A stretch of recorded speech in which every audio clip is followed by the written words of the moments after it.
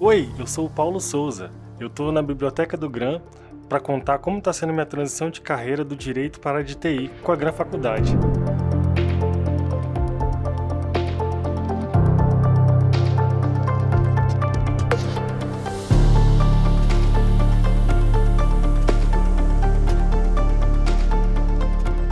Sou advogado é, há 10 anos e eu tô aqui porque eu resolvi vendo a minha história de vida, descobri que eu preciso de novos caminhos, preciso de uma nova direção. E nada melhor do que começar por uma nova faculdade.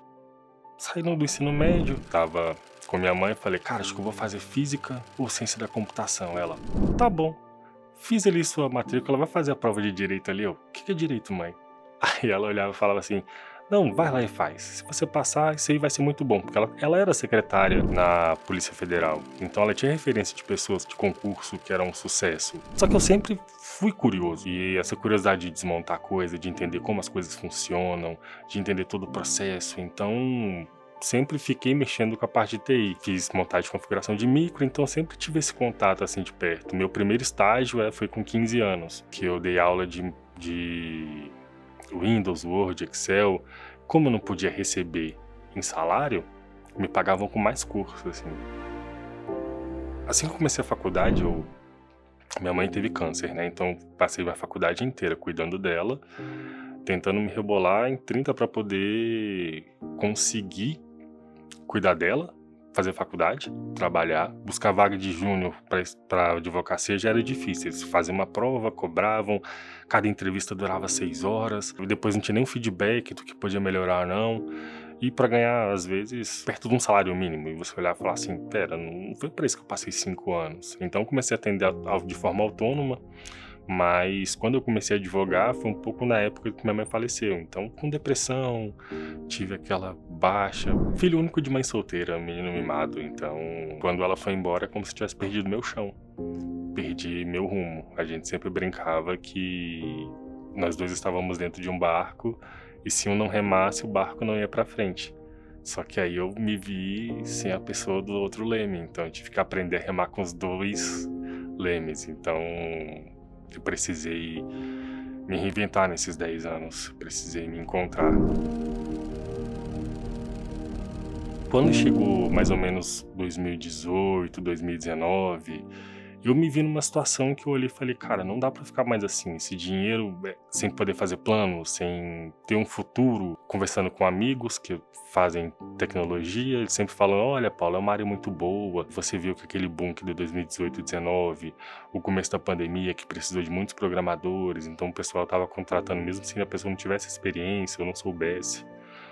Isso me despertou o olho de novo. Fiz dois cursos de front e um de back Aí quando eu tava fazendo o curso, eu olhei e falei, cara, é isso que eu quero. Acho que isso aqui eu faria por muito tempo e me daria uma estabilidade e eu poderia continuar atuando no direito da forma que eu gosto. Eu olhei e falei, olha, Gran vai abrir uma faculdade, já, tava com, já tinha uns cursos antes, né? Falou, olha, agora vai ter análise de desenvolvimento de sistemas. Aí eu olhei e falei, cara, eu gosto da metodologia do Gran, já sou habituado com o sistema, acho que eu vou meter a doida e vou fazer aqui. Foi quando eu me inscrevi, tamo aí hoje, há um ano. Eu conheci o Gran da época que eu pensei em estudar para concurso, aí eu fiz a parte do Gran Expert, que eu também tive a mentoria, que me ajudou, me ensinou a estudar. Gostava da plataforma, gostava dos professores, gostava do método de ensino. E uma das coisas que eu tinha certeza era: eu não sei se eu quero ficar no mercado privado, não sei se eu quero ficar no mercado público. Então, o GRAN, como tem a excelência em, no ensino para concurso, eu olhei e falei, consigo hoje adequar, e aí eles só introduziram a parte prática também que ensina no mercado privado. Então hoje eu consigo me ver ainda com o meu leque de oportunidades aberto. Quando a gente fala sobre transição de carreira, eu, eu vejo que a gente primeiro sempre tem aquela trava, que é a trava interna, é literalmente aquele olho que você tem compaixão pelo próximo, mas uma severidade consigo mesmo. Você fala, cara, você vai abandonar esses seus 10 anos de advocacia, você vai abandonar seus 5 anos da faculdade. E aí você começa a pensar como se você fosse colocar tudo dentro de um saco de lixo, jogar fora e esquecer tudo. Beleza, morreu. Mas não, cara, começar a faculdade em 2023, sendo que eu fiz os comecei a flertar com, em 2019. Então foi uma coisa que foi sólida. Hoje você para e pensa, pô, podia ter feito isso na hora que eu tive estalo. Mas o importante é você se entender e fazer as coisas com maturidade. Minha rotina é bem cheia de não rotina. Porque tem dia que eu estudo de manhã, tem dia que eu estudo à noite, tem dia que eu estudo final de semana, porque eu não deixei de advogar, mas eu agora consigo pegar menos casos por conta do estágio, é, me dedicar para o estágio, que foi uma tecnologia nova. E aí é uma vantagem de fazer a faculdade, é porque, cara, eu consigo ver no ônibus, eu consigo ver ela às vezes num tempinho de folga no trabalho, consigo ver ela à noite, consigo rever todas as aulas depois de um período. Ah, até brinco, o pessoal fala, ah, a gente estava de férias. Eu falei, gente, eu nem tiro férias da faculdade. Por quê? Porque o momento que eu posso estar revendo, tive uma dúvida, vou lá, olho de novo o material. Então isso é extremamente bacana, porque eu consigo ficar me reciclando e fazendo com que o conteúdo fique mesmo na minha cabeça.